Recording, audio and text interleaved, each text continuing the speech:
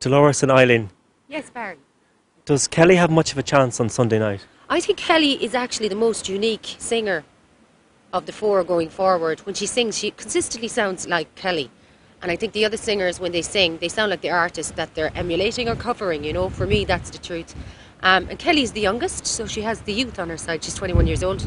And uh, it's kind of cosmic and weird that she's from Limerick and she grew up listening to me, and I was her, on her um, piece of paper when she went in, I was her number one influence.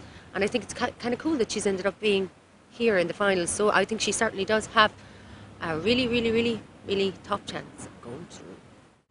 She's she has great confidence herself. Yeah. Yes. And I like the fact that she's actually a lady and kind of like And a a Limerick suffragette. girl, especially a Limerick kind of girl. girl. As opposed to Jamelia's act, perhaps?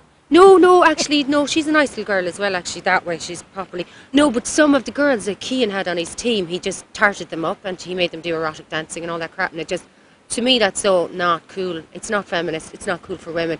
We shouldn't have to fall prey to the victimization of, you know, being some kind of a sexual piece of stuff. You know, it's like we are people and we should have equal rights. You know, and that's something that Ireland needs to to kind of get stronger on. The women need to be you know, respecting themselves and not letting men exploit them in any way or not letting themselves be exploited, you know. That whole kind of erotic dancing crap, I mean, that belongs in a place and it's called a stripper bar or an erotic dance club, but I just thought it was kind of weird having it in front of these little kids and all. It, to me, that's not cool. Did you think Jamelia was jealous of Kelly? I think that she was intimidated by her beauty. Um, Kelly is young, 21 years old, incredibly beautiful. She's a beautiful voice, and she's also one year off a degree in music in UCC, so she's actually educated as well uh, beyond that, you know. So I do think, yes, that th- there, certainly was an element of cattiness. Instead of sorority and supporting sisters, sometimes girls can get catty and not support each other, you know, and it's an, it tends to be these girls as well that do feel a certain pressure to have their bodies and their knockers hanging out and all this kind of stuff for some reason. You know, strong women stand up for their sisters, sorority, you know. Eileen, where did um, Dolores, well, when I say where, she, she obviously got it from you, this strength of, of, of, of being a woman and feminism and all that. Was she like that growing up? yes, she I was was. a tomboy. Yes. I just always felt we should have the equal She rights was. to boys and men. And, you know, why should we be 30? Yes. you know and it is sad because the girls that like um that were like doing the erotic dancing and all. They're only youngsters. And i just again as i said like even like in in north america if there's a page three girl she's actually where she doesn't have her nipples out. That's completely not.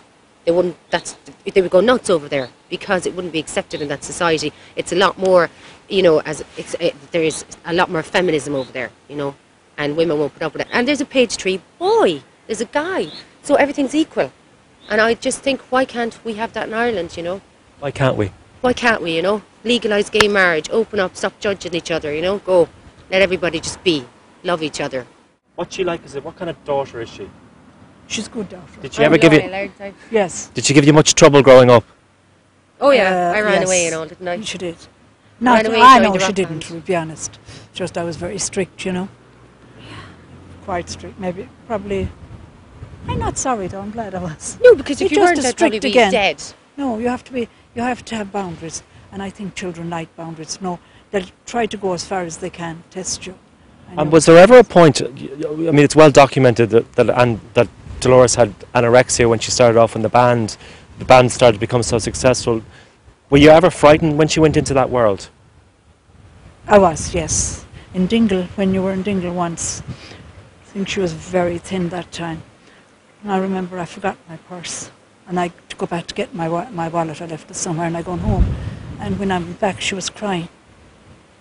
And, well, she was come out to me, and she said, she asked me to help her.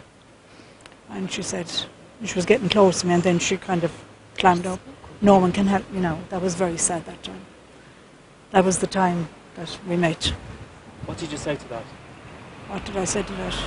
I just went and prayed about her, and I th- thought that night what we'd do.